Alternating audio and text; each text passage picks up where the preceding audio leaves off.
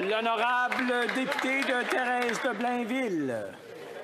Monsieur le Président, les citoyens sont furieux des délais pour obtenir leur passeport.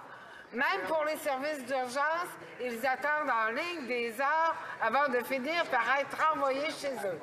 On voit même des citoyens camper devant les bureaux pour s'assurer une place en file.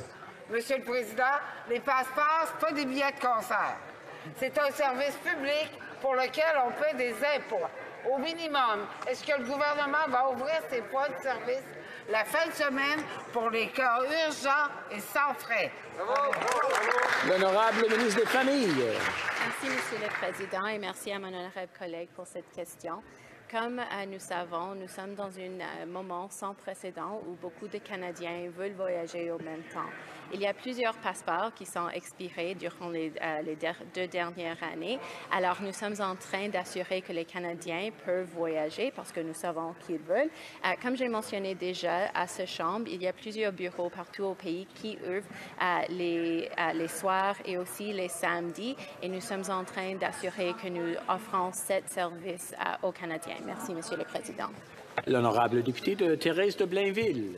Bien sûr que le volume de demandes de passeport est élevé. Ça fait deux ans qu'il y a interdiction de voyager. N'importe qui aurait pu prévoir cette hausse. N'importe qui, sauf ce gouvernement qui, encore une fois, n'est pas proactif, il est réactif. Cette crise aurait pu être évitée, mais il est trop tard. Maintenant, est-ce que le gouvernement va le régler? Notamment en ouvrant temporairement et sans frais les bureaux la fin de semaine pour les gens qui quittent le pays dans les 48 heures.